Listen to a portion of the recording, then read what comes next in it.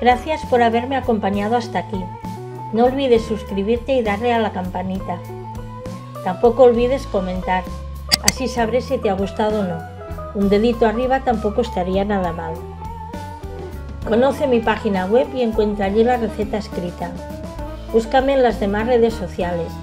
Los enlaces están en la cajita de información y en el comentario fijado. Nos vemos en la próxima receta.